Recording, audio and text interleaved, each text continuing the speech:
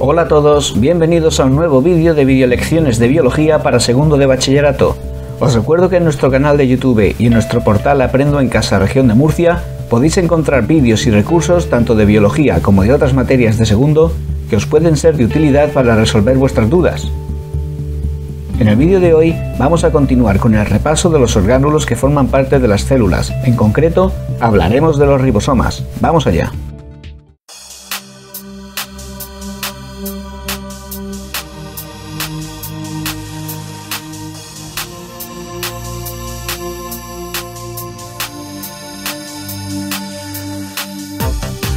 Los ribosomas son pequeños orgánulos celulares carentes de membrana plasmática.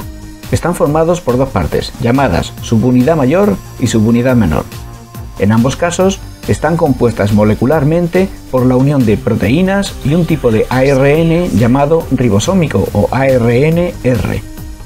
Están presentes en todas las células, aunque en ocasiones, como los glóbulos rojos, carecen de ellos.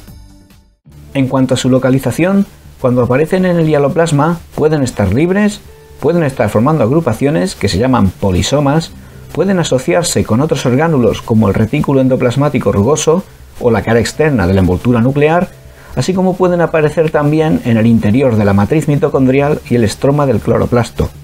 Y son muy numerosos. Se calcula que en Escherichia coli puede haber unos 20.000 ribosomas.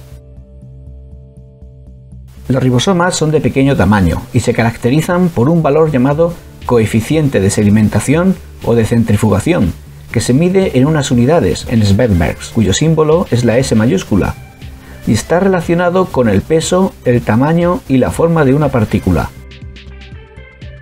Este coeficiente mide la velocidad de sedimentación cuando es sometido a una molécula a centrifugación. Por ejemplo, cuantas más prolongaciones tenga una macromolécula, más despacio sedimentará, y mayor será su coeficiente de sedimentación en Svedbergs. Los ribosomas van a ser diferentes según estemos hablando de los de procariotas o los eucariotas. En la tabla que estáis viendo tenéis una comparación de cómo son los ribosomas en ambos casos. En la columna de la izquierda tenéis las características de los ribosomas procariotas y en la de la derecha los ribosomas eucariotas. El ribosoma completo procariota tiene un coeficiente de 70S, mientras que el ribosoma completo eucariota tiene 80S, lo que indica que es mayor. A su vez, la subunidad mayor procariota es 50 Svedbergs y contiene dos cadenas de ARN ribosómico, la 5S y la 23S, así como 31 proteínas.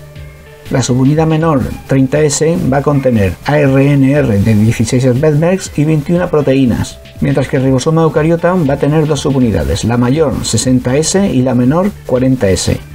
La subunidad mayor va a contener tres cadenas de ARN ribosómico, la 5S, la 28S y la 5,8S, así como 49 proteínas. Y la subunidad menor va a contener una cadena única de ARN ribosómico 18S y 33 proteínas. Las cadenas de ARN ribosómico se insertan entre las proteínas y parte de la superficie. Su posición va a estar relacionada con la función. La función de los ribosomas es participar en la síntesis de proteínas, en un proceso conocido como la traducción. Cuando el ribosoma no está sintetizando proteínas, ambas subunidades van a estar separadas. Solo se van a unir en el proceso de síntesis.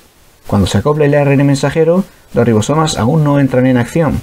Tiene que formarse primero el complejo de iniciación, con los factores de iniciación y el ARN de transferencia que porte el primer aminoácido. Entonces se unirá la segunda subunidad mayor. El ribosoma se irá desplazando por la cadena de ARN mensajero de forma que se van a ir uniendo los distintos ARN de transferencia que lleven los aminoácidos determinados por el anticodón que se une al codón, como ya vimos en el tema de la traducción. En este proceso, la subunidad mayor va a tener una capacidad catalítica y se va a tratar de una ribocima. Los ribosomas se forman en el nucleolo. Allí los genes del ADN codifican para formar el ARN ribosómico. Las proteínas serán sintetizadas por los ribosomas que hay libres en el citoplasma. Y esto es todo lo que veremos sobre ribosomas. Espero que os haya servido de ayuda. Si os ha gustado la videolección, no olvidéis darle a me gusta y no os perdáis el resto de vídeos del canal. Hasta la próxima.